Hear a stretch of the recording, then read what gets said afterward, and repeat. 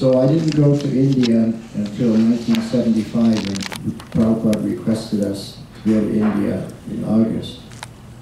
And I was a Sankirtan devotee. But then in uh, I was there at the Mayapur Festival in 1976 and I decided to make my base there in Mayapur. So that's when I was staying in the same temple, I guess you could say, with Jayapataka Swami. We got to know each other quite well.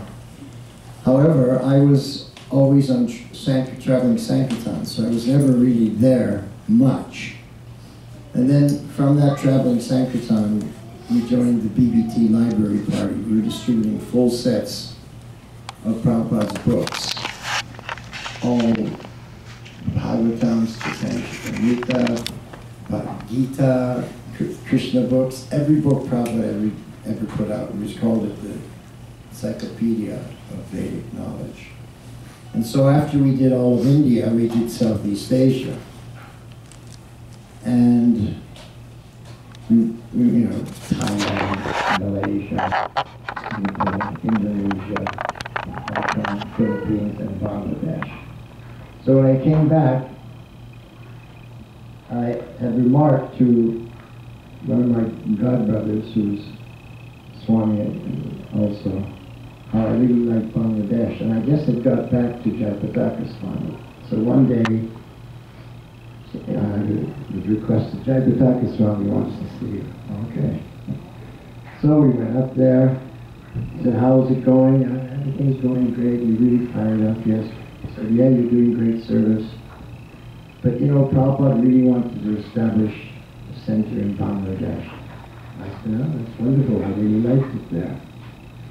He said, we want you to go there and start it. I said, well, I can't do that. No way. Because I'm traveling all over the world distributing full sets of Prabhupada's books. That's the most important service. So, you know, I'm sure you'll find somebody else. Prabhupada Vishnu or somebody else. He said, I said, that, you know, I'm doing the most important service. He said, no, this is the most important service. I'm giving you a whole country.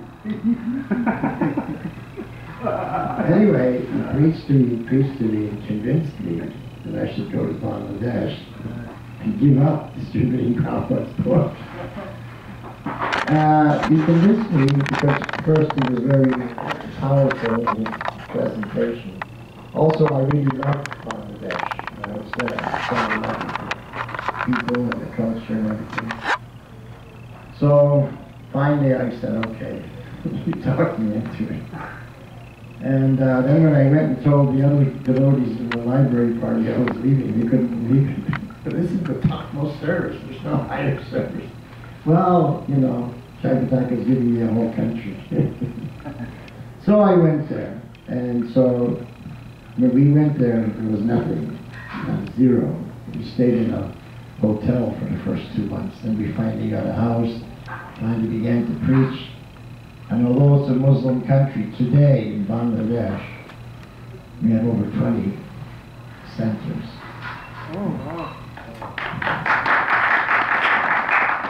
So, because Jayapataka Maharaj sent me there, that changed the whole course of my life. If I wouldn't have gone there, I don't know what would have happened to me.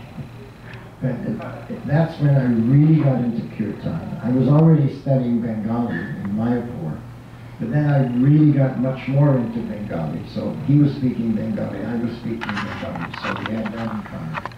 He was the GBC, I was the temple president there. And, uh, you know, he was giving encouragement, and then I founded the first Hindu society in Bangladesh. And uh, so he was very affectionate to me. Afterwards, I left Bangladesh, and then he made me temple president in Jagannath Puri. And uh, he was always very affectionate. Every time we would meet, he'd go, Haribol! He'd give me a big bear hug and lift me up off the you know, so my feet weren't touching the ground. So I, I was thinking, well, that's very affectionate, you know, it's nice. Then in, uh, in 1979, I came back from Bangladesh uh, to Mayapur. We used to come to Mayapur to get all the Bengali books, and we would smuggle them back into Bangladesh, Muslim country. We had a van with false bottoms, and we would smuggle all those books in.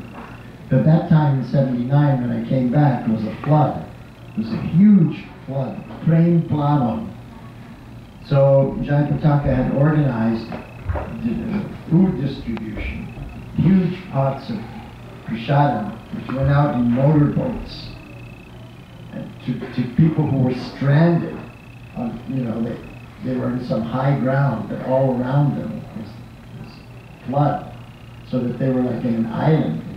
Some of them were, you know, on top of their homes, on the roof living. So he said, come with me. So we went on this boat, and we went to some place where these people were, you know, didn't have any food. Had a big pot of khichdi. And these people were so hungry, they had plates and they were just practically jumping on the boat. You know, we're trying to serve them. Uh, you know, so he organized that. He, he organized so many things. And uh, then that was, I was, finally I came back to the West. And uh, I was just going to India and coming back, so I left living in India for some time. Then I came back to India, and that was when he had had his stroke. And so I was in Mayapur. He was there in a wheelchair. So he saw me, he called me over, and he spoke to me. He said, "Can you understand me?" I said, "Yes, I can." Are you sure? He wanted to make sure that when he spoke, he could be understood. I said, "Well, I can understand you." And then I spoke to him heart to heart. I said, you know, Maharaj, you spent your whole life going to practically every town and village, to every country of the world. And made devotees everywhere.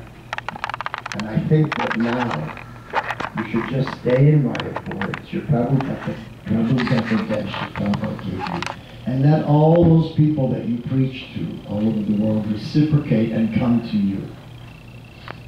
Was my advice. I thought it was good advice.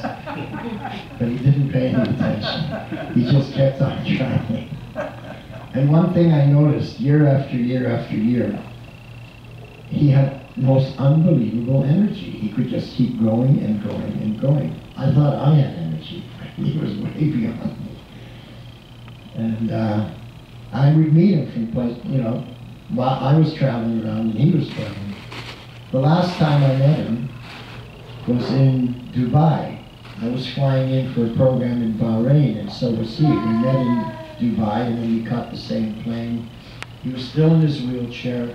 He needed so many helpers to put him on the plane and everything. You could see it was really a struggle for him, but he couldn't be stopped. Nothing was going to stop. This is what I, this is what I got out of it, that nothing can stop Jayapataka from preaching.